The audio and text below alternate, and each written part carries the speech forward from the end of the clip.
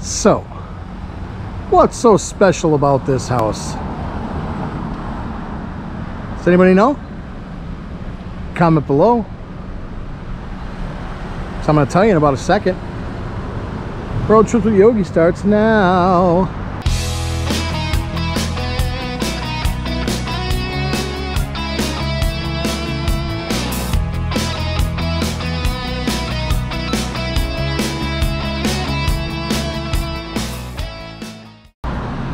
Hey everybody, Yogi here. I'm doing well. I hope you're doing well. We are still in Columbia, Tennessee. And today we decided to stop by the James Knox Polk House. It's closed. We picked the worst days to come to these places. But uh, this is where the parents of the 11th President of the United States occupied this property in 1816, at which time young Polk was 21. This was his home from his University of North Carolina College graduation in 1818 until his marriage to Sarah Childress in 1824. So this is the ancestral home of James Polk.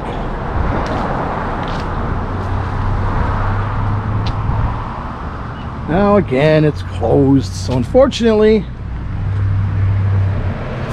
there it says, ancestral home registered National Historic Landmark.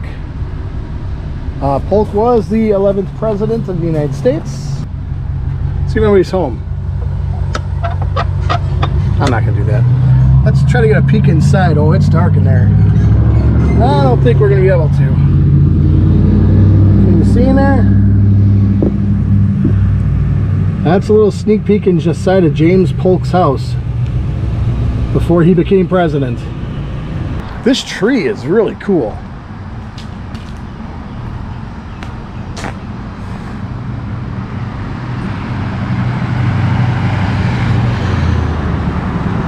Is this an acorn tree?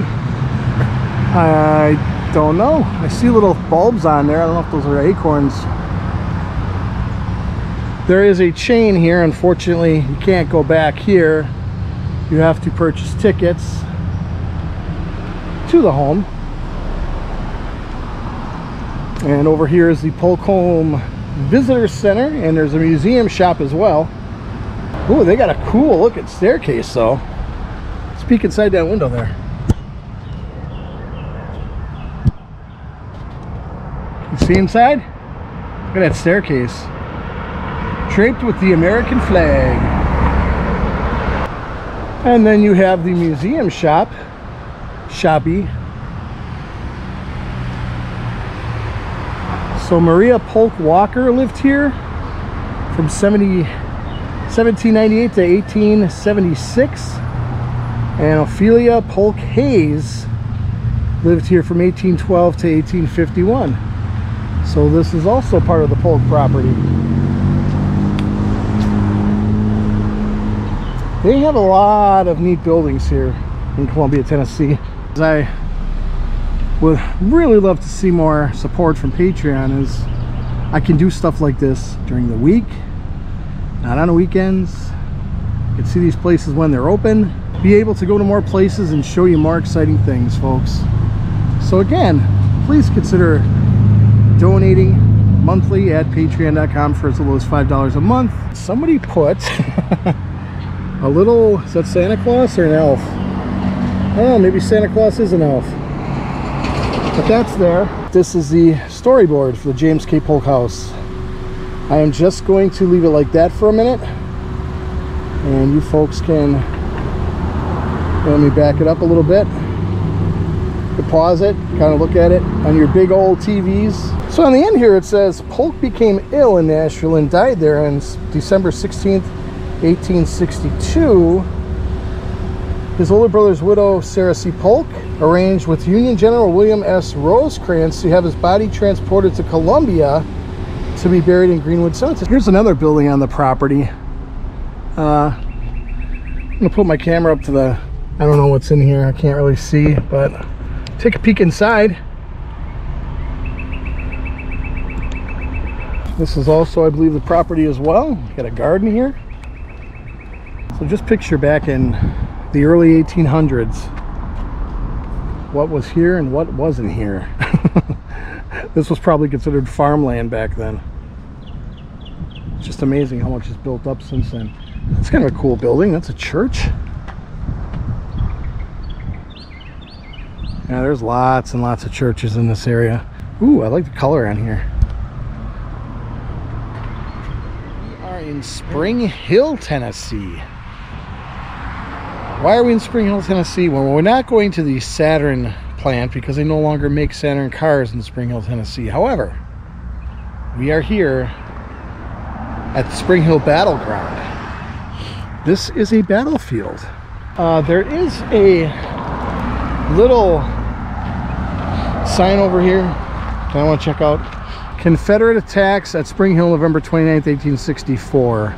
On November 29, 1864, General Nathan B. Forrest approached Spring Hill from the east at 11.30 a.m. From here, General James Chalmers launched an attack to seize the Columbia National Pike to the west.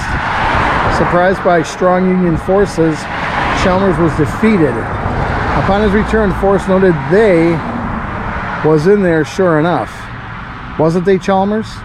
At 3.45 p.m., Major General Patrick uh, Cleburne's division attacked the Union forces and defeated Brigadier General Luther P. Bradley's brigade. Union resistance and darkness halted Cleburne's pursuit of Bradley's brigade. So we got a little bit of a walk. It's warm. It's 90s, 90-ish. No breeze, but at least it's not the sun beating down on you either. Some picture boards up here, up ahead. We're gonna walk up this hill, check it out. Now this is the first time I've ever been to an actual battlefield, so this is interesting.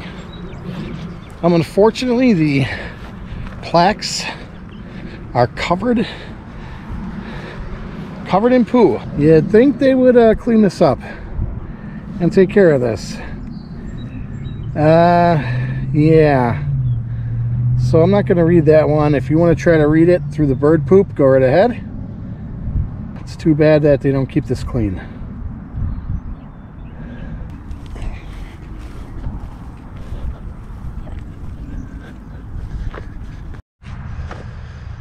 Just sitting on a bench, taking in the beauty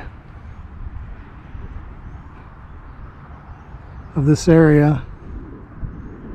You know, it's unfortunate that people died here. I don't know how many people did. I was kind of doing, trying to do a little research on the area. Doesn't really say. This is all farmland. There's jet plane. Yeah, we're gonna be getting some storms later. We got some serious clouds forming. Here's a cannon. A relic, a symbol of the, the battlefield. What's inside there? You see what's inside there? Let's do it again. Some rusty stuff.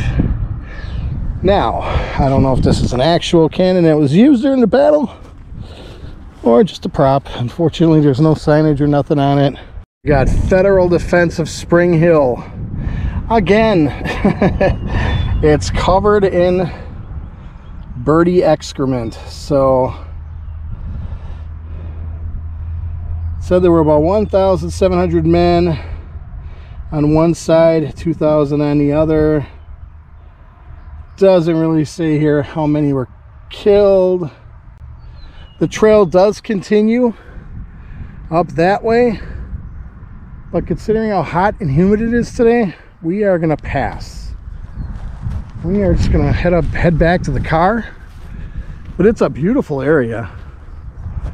Beautiful clouds, beautiful hills. Scenic, very scenic.